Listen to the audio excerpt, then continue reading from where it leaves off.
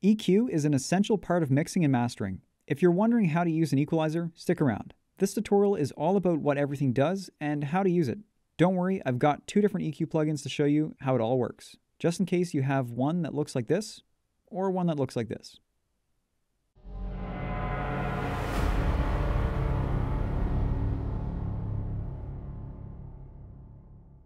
Hey everyone, Jake from Transverse Audio here.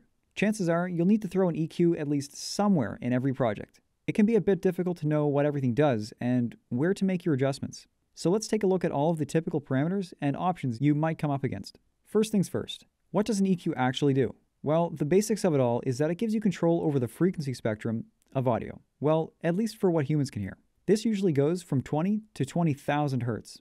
To give you perspective, the kick and bass are down here, which is known as the low end.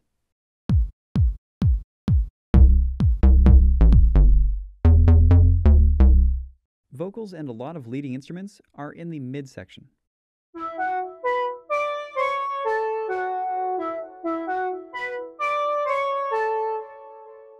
Hi-hats and cymbals are up here in the high end.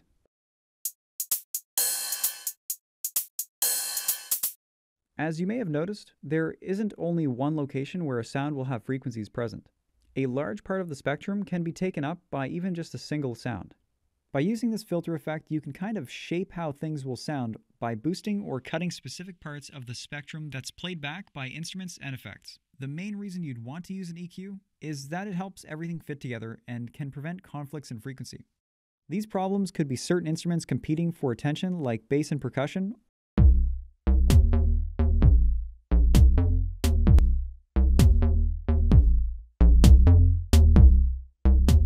or resonance, Think of it as a part of the sound that is kind of boosted on its own and might sound unpleasant.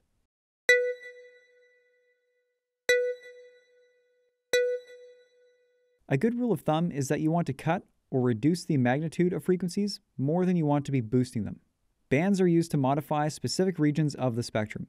You can position bands horizontally, which controls the frequency affected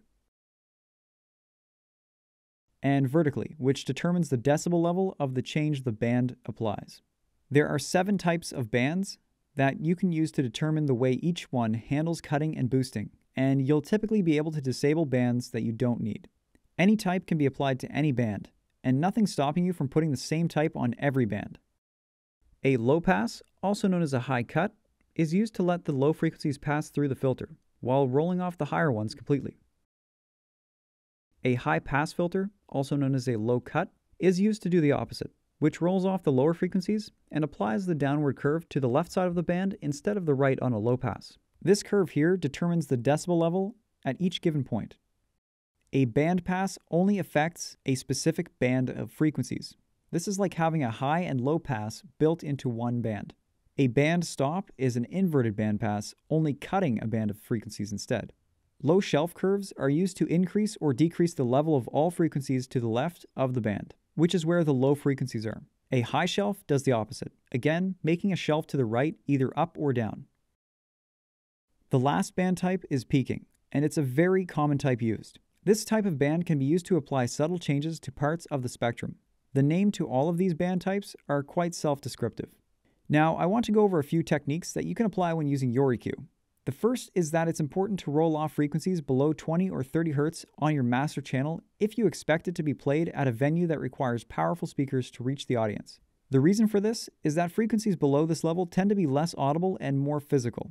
This is where the bass just starts to shake everything up and can cause the low end to sound muddy, which means the lower frequencies start to blend together and sound less defined.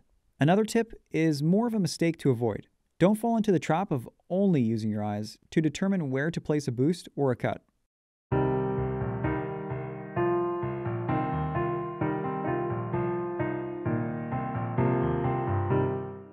Listen to how it sounds.